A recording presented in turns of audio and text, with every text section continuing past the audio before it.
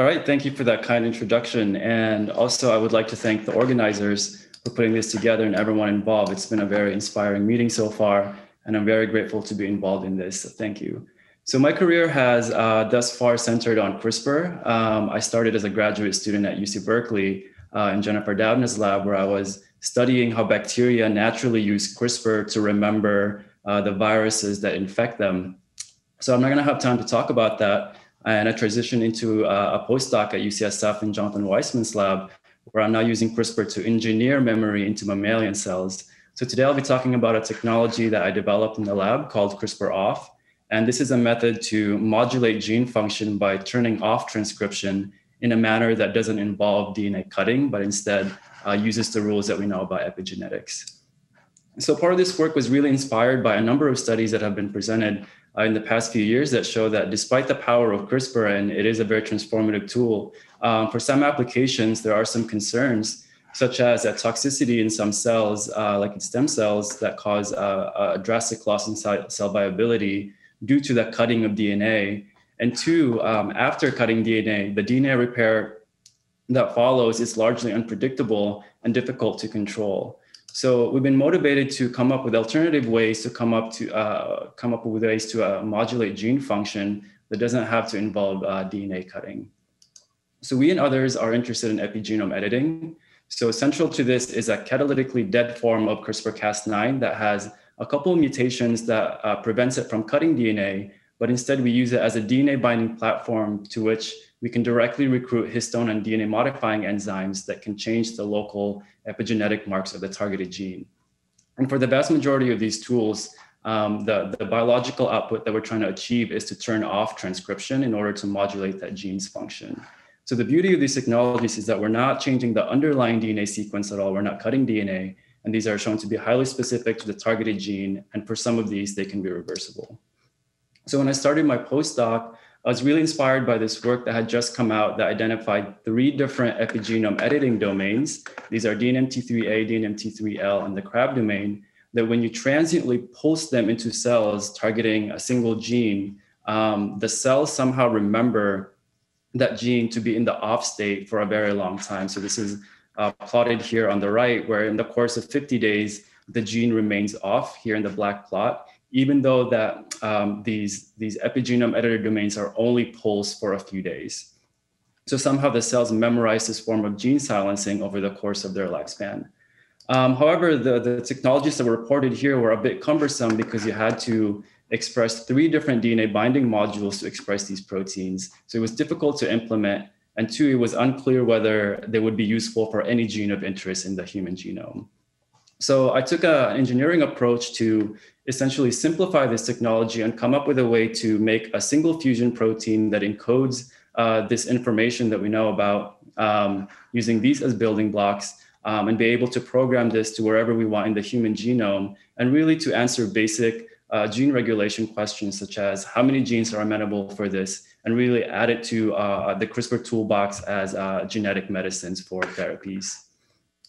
So to this end, uh, I engineered a, a, a, single fusion protein uh, called CRISPR-off. So this uh, is a, a dCas9 molecule that encodes um, the three different modules that I talked about, the CRAB domain, the NMT3 and the NMT3L. And these are just two different versions of the molecule that have different orientations of it. And what we do is we transiently pulse them in cells that normally divide every day. And you can see in the dotted plot here, the, the CRISPR-off molecule is only present for about a week.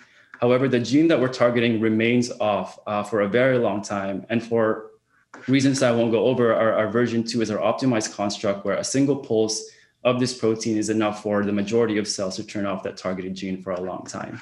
And you can see here, each dot is a single cell on the right that for over 90% of the cells that were treated by this, the gene is very, very off, um, and only a few cells have a leaky expression of this. So it's quite robust. And we've taken out this experiment for over a year, uh, for 15 months. We've followed 39 single clones, um, again, that divide every day. And you can see that almost all of them have retained that gene in the off state uh, throughout the duration of this experiment.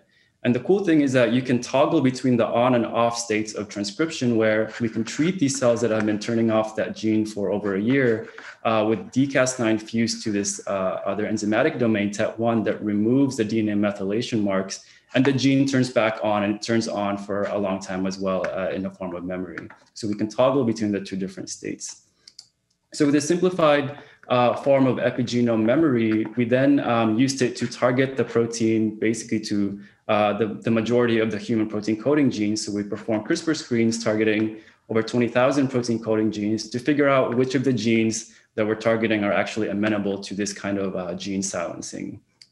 And what we found was quite surprising in that the genes that we expect to have a growth phenotype upon knockdown are also showing growth phenotypes uh, upon CRISPR op treatment, really suggesting that this tool can turn off the vast majority of genes, um, as shown here on the left, where the, the negative phenotypes mean that those cells are essentially coming out of the CRISPR screen because they've been turned off by CRISPR off. And we're quite excited by the various applications of CRISPR off, um, sort of fast forwarding uh, a bunch of screens and a bunch of data that we've shown that how robust this tool is. Um, and one of the applications that we've sort of toyed around in the lab is in cell and tissue engineering, where we would like to uh, generate custom-made uh, differentiated cells. And in this example, uh, we're creating neurons that are derived from iPSCs, where in iPSCs, we treat them with CRISPR-off targeting a specific gene. Um, and this example, we've done this for a number of genes. And this example is cool because uh, MAPT encodes for a protein called tau. It's been uh, implicated in a bunch of different neurological diseases.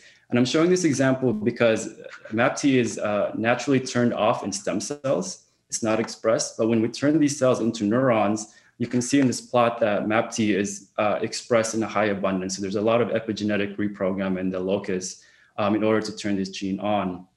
So what we did was we treated CRISPR off in iPSCs to repress um, MAPT. And when we differentiate them into neurons, we look to see if any cells have retained MAPT in the off state. And that's essentially what we see on the left here. You can see that CRISPR off treated cells um, uh, still look like neurons. They're very healthy. And then we can isolate neurons that have uh, the tau protein repressed throughout this differentiation process, really signifying that we're overriding a lot of the natural, natural rules and natural epigenetic pathways uh, that would otherwise turn this gene on. So really reprogramming the cell to remember a specific memory that it will remember for, for a while.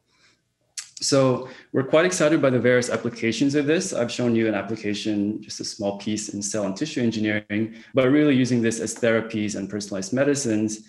Um, and as I'm sort of getting ready to launch my own independent lab, um, what I've been really obsessed with is really using CRISPR off as a way to discover chromatin biology and discover how genes are naturally turned off so one of the questions that uh, I would like to pursue in my own lab is really to figure out how does this work. Um, I'm a biochemist in training, and I think about basic principles and uh, basic pathways um, of gene regulation. So one of the ways that I would like to do this is to essentially screen for factors that are important for this process to occur. And this is a natural process that's adapted from uh, what happens in early mammalian development to turn off certain cytotoxic uh, elements such as endogenous retroviruses, uh, transposable elements, DNA repeats. So really with this now simplified tool where you can program it to work in a cell, we can begin to dissect what actually happens during these really critical um, stages of, uh, of, mammalian development. And two, uh, sort of a long-term thing is, again, asking the question of how does this work is, when are these memories naturally um, programmed in our bodies, in our cells during development?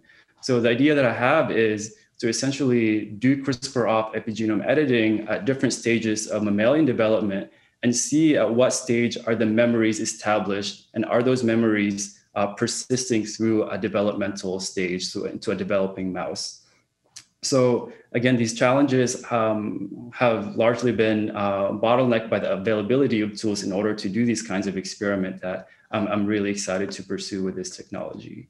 So with that, uh, again, I'd like to thank the organizers and everyone involved in this lab, uh, in the Weissman lab and uh, Luke Gilbert's lab at UCSF. And I will take it over to Polly.